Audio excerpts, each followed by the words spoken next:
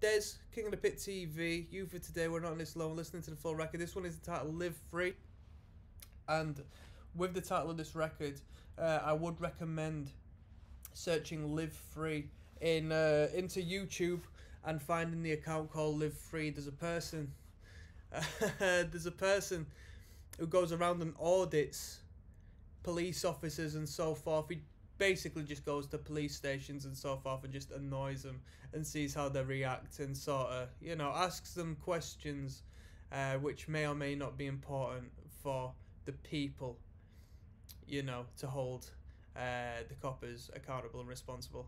And obviously, you know, we're listening to hardcore today, so I'd recommend you check that channel out because it is entertaining and you know, the fella's a working class head who's doing the right thing. You know what I mean? Applying a little bit of pressure in the right direction instead of always on us. So, shout out to Live Free, the channel. This tune's entitled Live Free. Let's jump straight in.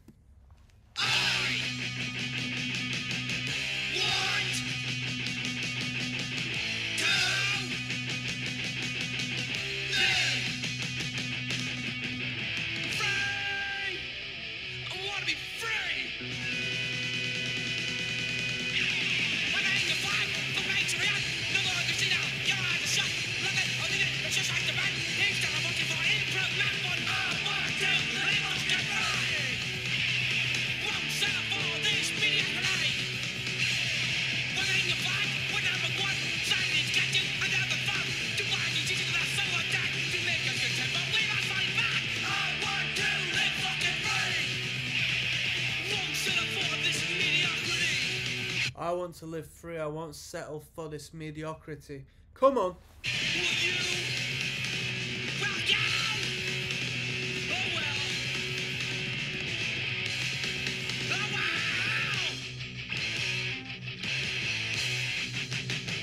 Kind of metal that. If you listen to these stabs and that chugging, that's quite a metal riff. Metal.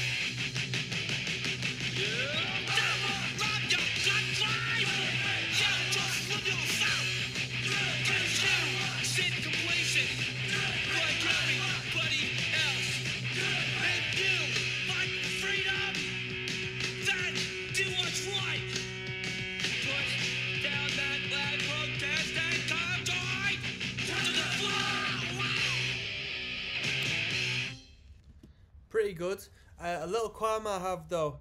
Um, I say this when I can because if there's any musicians or lyric writers in there, I just want to add my uh, little perspective on lyric writing. Uh, I write songs. Uh, I've written a lot, plenty of hardcore songs to be honest, plenty of metal songs as well.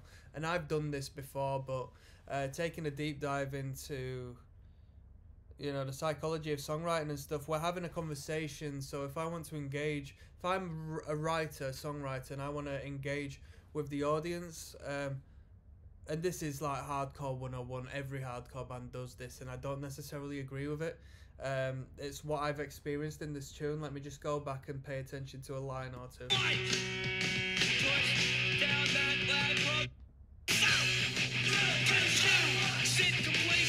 because you sit complacent, right?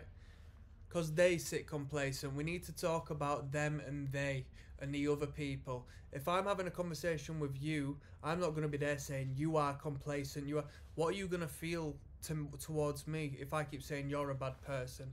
You need to do this. You need to do that.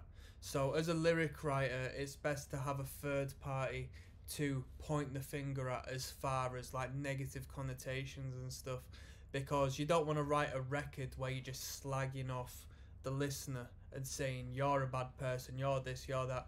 And it goes with all of the bands because every hardcore band on planet Earth writes their first songs like, I hate you, you're the worst, blah blah blah blah. And it's just not worth it. It's just not worth it. And I know this is a counterculture, but as far as radio music goes and pop music goes and so forth, um, those songs are produced to entice and create positive rapport between the artist and the listeners and that's why they get promoted to the degree they do and advertised to the degree they do they wouldn't be able to do that if the song was about oh i don't like you you're the worst, blah de blah. No radio station is going to be plugging that sort of stuff because it's not gonna, you know, people are going to listen to that. People are going to want to listen to that if they're driving off to work or doing this and that. You know what I mean? I know it's punk music and counterculture, but there are still foundations of lyric writing which can be, you know, considered when it comes to it. Anyway, I digress. I know I annoy a few people when I go off on a tangent, but uh, I just feel it's necessary because it, you know, I don't like to hear it too much. So let's move on to the next track.